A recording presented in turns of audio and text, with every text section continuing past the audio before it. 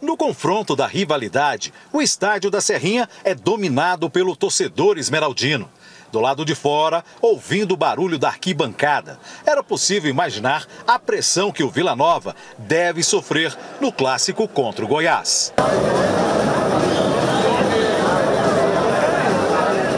Torcida todo jogo faz diferença e hoje vai fazer mais ainda, que é um clássico. 2 a 0 pro Goiás. Pode botar na caneta aí. A rivalidade é grande e nós estamos firmes aí para assumir a liderança hoje. 1 a 0 em cima do Vila já é já tá de tá de um bom tamanho.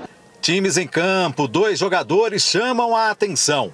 Alisson e Apodi, que no ano passado estavam no Goiás, reapareceram na Serrinha pela primeira vez, agora vestindo a camisa do rival Vila Nova, esquentando a rivalidade. E não é que os dois foram bem recebidos? O torcedor, pô, eu tive aqui do lado por causa de dois anos e meio, agora voltei para o clássico, mas, mas foi gratificante poder voltar aqui e ver muita gente que, mesmo eu estando do, do lado oposto hoje, eles ainda continuam me aplaudindo, então fiquei feliz também. O jogo começa cauteloso, com o time esmeraldino tomando a iniciativa por duas vezes. O Tigrão responde. Contra-ataque rápido. A bola sobra para Apodi chutar da entrada da área e mandar por cima do gol de Tadeu. Que desperdício.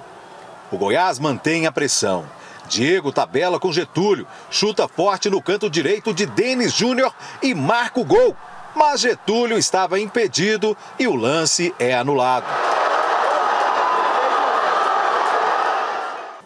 O jogo fica bem disputado e com muitas reclamações e paralisações. E quando acontece a falta pela esquerda, João Vitor do Vila Nova aparece, bate fechado e Tadeu em cima da linha faz uma grande defesa. E de novo, pela esquerda, Alisson se livra de dois, invade a área, bate forte e Tadeu de novo evita o gol.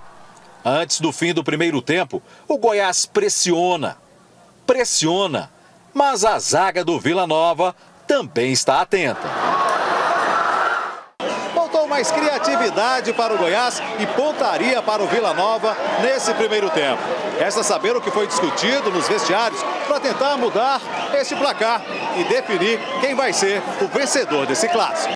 As duas equipes voltam sem novidades para a reta final. O Goiás é mais agressivo no ataque. Nesse lance, Juninho chuta da entrada da área. A bola desvia e sobra para Ian Souto. O zagueiro bate para o gol e Denis Júnior faz uma defesa difícil. O Vila Nova responde em seguida. João Vitor cobra falta pela direita. Fernandão sobe alto e cabeceia. A bola passa muito perto da trave. Jogo bastante movimentado. O Everton recebe mais uma pela direita e cruza. Getúlio tenta duas vezes e manda na rede pelo lado de fora. Sabe aquele toma lá da cá? Igor Bolt recebe de Alisson na entrada da área pela direita e chuta. Tadeu faz outra defesa decisiva e manda a bola para o escanteio. E por falar em Tadeu, ele de novo viaja no ângulo direito e evita o gol de João Vitor, cobrando esta falta.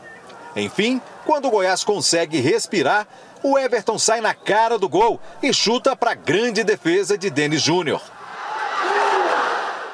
No finalzinho, o time esmeraldino coloca pressão, sufoca o time do Vila Nova, pressiona a defesa vilanovense de todas as maneiras.